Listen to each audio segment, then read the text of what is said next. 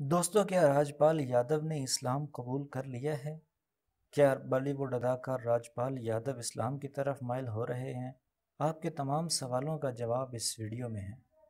Video शुरू करने से पहले अगर आपने अभी तक हमारे चैनल को सब्सक्राइब नहीं किया तो पहले चैनल को सब्सक्राइब कर लें और साथ घंटी के निशान को भी दबा दें ताकि आने वाली हर वीडियो की इतला आपको सबसे पहले मिलती रहे। दोस्तों, बॉलीवुड अदाकार राजपाल यादव ने अपनी ताज़ा वीडियो में एक खूबसूरत पैगाम दिया है। उन्होंने वीडियो में अपने पैरोकारों से रमज़ान करीम की ख्वाहिश की। उसके बाद अदाकार ने कोरोना वायरस को रोकने के लिए इंसानियत की जद्दोजहद के बारे में लंबाई में बात की। उन्होंने कहा कि इस लॉकडाउन ने इन्हें हकीकी सुपर पावर का एहसास दिलाया है। सिर्फ़ एक सुपर पावर है।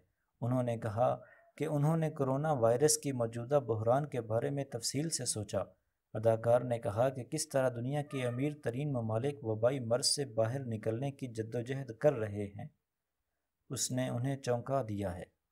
उन्होंने कहा कि वो दुनिया के सुपर पावर ममालिक की ताकत के बारे में सुनते हैं, लेकिन कोरोना वायरस ने इन ममालिक को अपने घुटनों तक पहुँचा दिया है। उन्होंने कहा कि इससे इनमें सोच का अमल शुरू हुआ।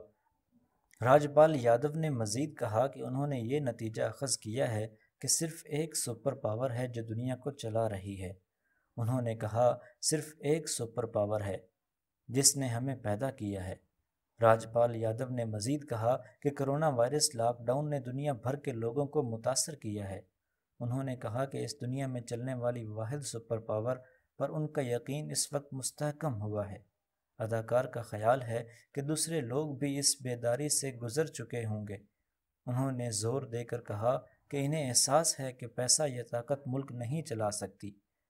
अदाकार ने मज़ीद कहा कि करोना वायरस ने इंसानियत पर तबाह को नसरात मुरतब किए हैं। इसने मौजूदा आलमी निज़ाम को चिकना चूर कर दिया है। कुदरत ने दुनिया भर में मौजूदा पावर सिस्टमों को गिरा दिया है, क्योंकि वह ख़ुद को करोना वायरस के ज़रिए तकवीत बख्शता है। अदाकार का कहना था कि वबाई करोना वायरस ने फितरत का एहतराम करने के लिए एक अहम पैगाम दिया है। उन्होंने कहा कि लीडर नहीं बल्कि माशरती कारकुन और आम लोग इन दिनों मुल्क चला रहे हैं। राजपाल यादव ने कहा, इस बहरान को संभालने की ज़िम्मेदारी डॉक्टर, नर्सें, पुलिस एहलकार सिक्योरिटी एहलकार और आम ट्रक ड्राइवर अंजाम दे रहे हैं। उन्होंने मज़ीद कहा कि इनमें से कुछ पेशों में काम करने वाले अफराद आम तौर पर नापसंद होते हैं, लेकिन अब इन लोगों ने इंसानियत की खिदमत करने का बेड़ा उठाया है।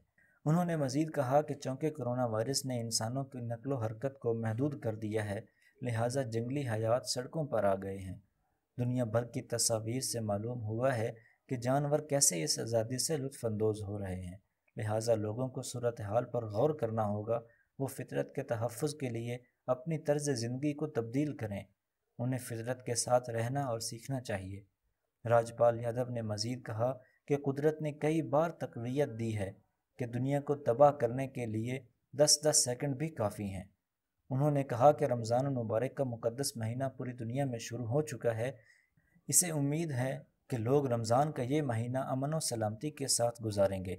अदाकार ने मज़ीद कहा कि लोगों को अपनी ज़िंदगी की तश्कील नौ के लिए इस बार इस्तेमाल करना चाहिए, ताकि लोग ईद के बाद एक नया तर्ज ज़िंदगी शुरू कर सकें। आखिर में राजपाल यादव ने कहा कि कोरोना वायरस ने लोगों में ख़ुद इख्तियारी को मुतजलजल कर दिया है। लिहाजा अब वक्त है कि वो अमन और रवादारी के साथ ज़िंदगी गुजारें। राज्यपाल यादव इस्लामोफोबिया की मजम्मत करते हैं। राज्यपाल यादव ने अपने तीन मिनट तवील पैगाम में इंसानियत से मुतक अहम पैगाम की तबलीग की है। रवादारी और अमन को तकवीत देने के इन पैगाम हिंदुस्तान में मुस्लिम कम्यूनिटी के ख़िलाफ़ बढ़ती हुई नफ़रतों को जन्म देते हैं। उन्होंने भारत में पालघर लिंचिंग के वाक़े पर रद्द अमल का इजहार किया। उन्होंने लोगों से अमन और रवादारी के साथ रहने की अल्तजा की है। राज्यपाल यादव ने मुल्क में बढ़ती अदम रवादारी और फ़िरका वाराना इख्तलाफ की मजम्मत की है।